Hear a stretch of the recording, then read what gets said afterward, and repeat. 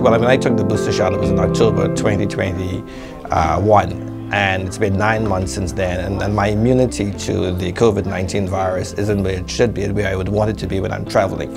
And so in order to give me and my family and friends the best protection, it's, it's good for me to take the fourth shot right now to get my immunity to COVID back up.